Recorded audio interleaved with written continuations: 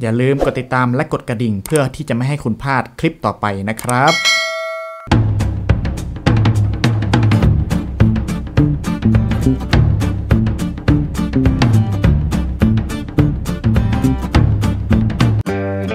สวัสดีครับ ยินดีต้อนรับเข้าสู่ดาวเหนือ Channel นะครับ วันนี้มาพบกับ 5 อันดับไฟสตูดิโอยี่ห้อไหนดีครับ ที่แสงดีไลฟ์สดได้ซึ่งผมนะครับ ได้รวบรวม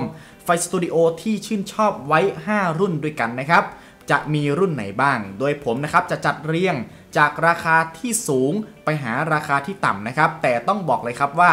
ทุกรุ่นมีคุณภาพดีพอๆกันเลยนะครับ ก็ไม่ต้องซีเรียสนะครับ อะโอเคครับผม ถ้าหากพร้อมแล้วไปชมกันครับ ไฟสตูดิโอสำหรับเหล่าช่างภาพหรือยูทูบเบอร์นอกจากจะต้องคำนึงถึงคุณภาพของกล้องแล้ว การจัดไฟก็เป็นเรื่องสำคัญไม่แพ้กัน เพราะไฟไม่เพียงแค่ช่วยเพิ่มความสว่างของพื้นหลัง หรือสิ่งที่เราต้องโฟกัสเท่านั้น แต่ยังช่วยเปลี่ยนสีและโทนของวิดีโอทำให้งานสามารถสื่ออารมณ์ที่แตกต่างได้ ดังนั้นไฟสตูดิโอจึงถือเป็นหนึ่งอุปกรณ์ที่เหล่าคนทำงานเบื้องหลังไม่ควรมองข้าม แล้วก็แน่นอนครับสำหรับคลิปนี้เราจะมาแนะนำ5อันดับไฟสตูดิโอยี่ห้อไหนดี ฉบับปี 2021 โอเคครับผมถ้าหากพร้อมแล้วไปฟังกันครับ เริ่มจากอันดับที่ 5 Wintop LED Ring Light VL 600T เป็นไฟสตูดิโอแบบวงแหวนปรับโทนสีได้ และปรับองศาไฟได้ด้วย รุ่นนี้เป็นรูปทรงแบบวงแหวนมีน้ำหนักเบา เคลื่อนย้ายสะดวกสามารถใช้ถ่ายทำนอกสถานที่หรือในอาคารก็ได้ และที่สำคัญตรงกลางวงแหวนมีที่สำหรับต่อแท่นล็อกมือถือ ดังนั้นจึงเหมาะกับคนที่ชอบไลฟ์สดผ่านมือถือมาก ๆ โดยเป็นไฟแบบ LED ที่มีกำลังไฟ 45 วัตต์ ปรับโทนสีได้ทั้งแบบวอร์มและสีขาว ด้านหลังมีจอ LED ไว้สำหรับเช็คค่าความสว่างและสี ทั้งยังมีรีโมทปรับความสว่างและโทนสีจากระยะไกล แล้วก็ยิ่งไปกว่านั้น ยังสามารถปรับองศาตรงวงแหวนขึ้นลง เพื่อเปลี่ยนทิศทางของแสงได้อีกด้วย แล้วก็เจ้าไฟสตูดิโอรุ่นนี้มีราคาดวงละ 4,300 บาท อันดับที่ 4 โตลิโฟ PT 2 CB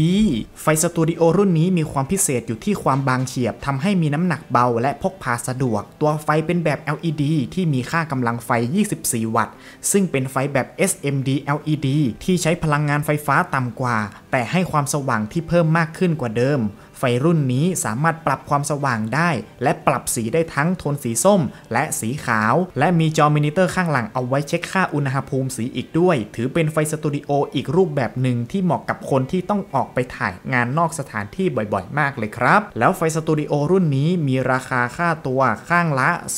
2,665 บาท อันดับ 3 สูตรโฟโต้340 AS Pro ไฟสตูดิโอรุ่นนี้จะมีโครงสร้างเป็นโลหะระบายความร้อนได้ดีมาพร้อมกับฟิลเตอร์แสงสองสี นี่ก็คือไฟสตูดิโอทรงสี่เหลี่ยมแบบปกติทั่วไป ใช้ไฟ LED ที่มีค่ากำลังไฟ 25 วัตต์จำนวน 340 หลอด สามารถปรับความสว่างได้ตั้งแต่ 0%ไปจนถึง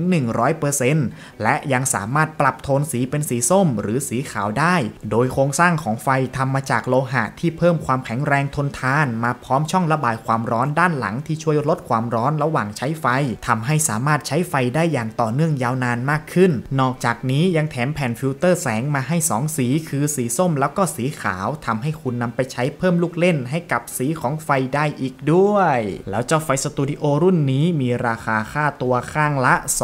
2,590 บาทอันดับ 2 ยองนัวหรือ YN 300 Mark 3 Pro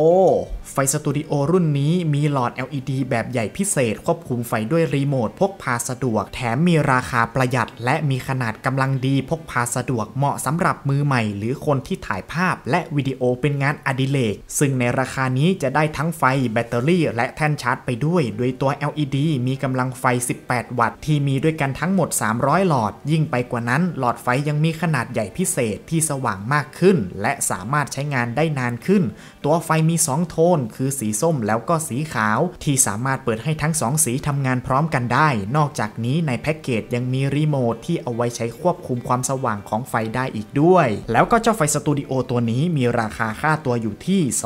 2,150 บาท ไปจนถึง 2,990 บาท แล้วก็ลำดับที่ 1 Andoer ไฟ Studio Professional LED Video Light D6 917 US ไฟสตูดิโอตัวนี้เพิ่มความสว่างได้ พร้อมโทนสีไฟครอบคลุม ปรับได้ตามความต้องการ นี่ก็คือไฟสตูดิโอรูปทรงสี่เหลี่ยม ออกแนว professional ที่สามารถตอบสนองความต้องการของเหล่าคนทำงานเบื้องหลังได้หลายรูปแบบ โดยหลอดไฟจะเป็น LED ให้กำลังไฟ 40 วัตต์ มีด้วยกันทั้งหมด 660 หลอด ที่คุณสามารถปรับให้มืดหรือเพิ่มความสว่างได้แบบขั้นสุด นอกจากนี้สีของไฟยังทั่วถึงตั้งแต่ 3,200 เคลวินไปจนถึง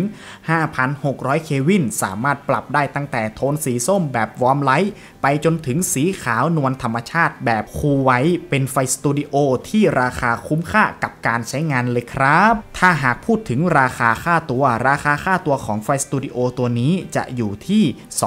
707 บาท ไปจนถึง 2,726 บาทเลยครับ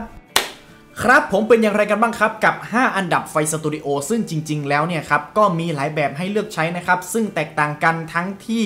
เเรื่องของโทนสีแล้วก็รูปทรงนะครับ ดังนั้นนะครับควรพิจารณาเลือกให้เหมาะกับประเภทงานจะดีที่สุดนะครับ โอเคครับผมสำหรับคลิปนี้นะครับ ผมก็ขอจบไว้เพียงเท่านี้นะครับ อย่าลืมกดติดตามกด subscribe เป็นกำลังใจให้กับผมด้วยนะครับ ไว้พบกันใหม่คลิปต่อไปสำหรับวันนี้ ขอลาไปก่อน สวัสดีครับ